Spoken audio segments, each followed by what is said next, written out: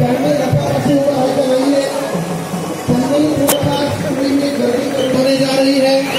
सभी तमाम साई भक्तों से गुजारिश है की ठीक वायर एवढीच का मला वायर द्याल काढून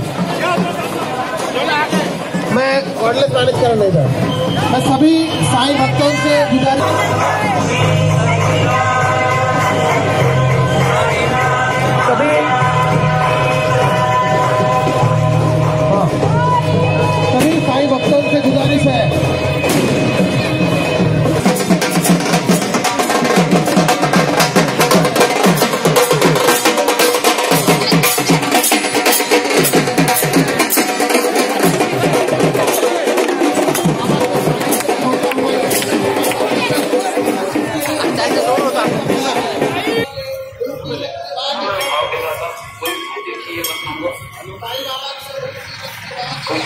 तो क्या करोगे आप, आपका जो मित्र आपके लड़के के पास में रहता है, आप उसको फ़ोन करोगे उसको बोलोगे मेरे लड़के को थोड़ी हेल्प कर दे। क्यों?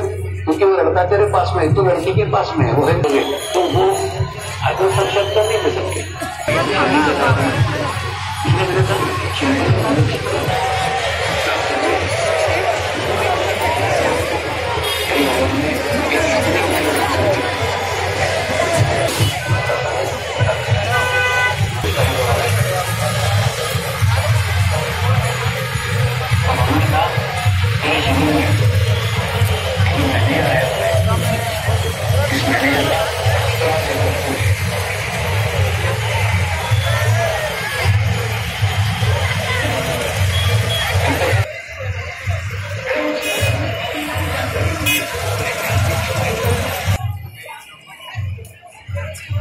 उनको समझाया मैं शिरडी के नहीं। हूँ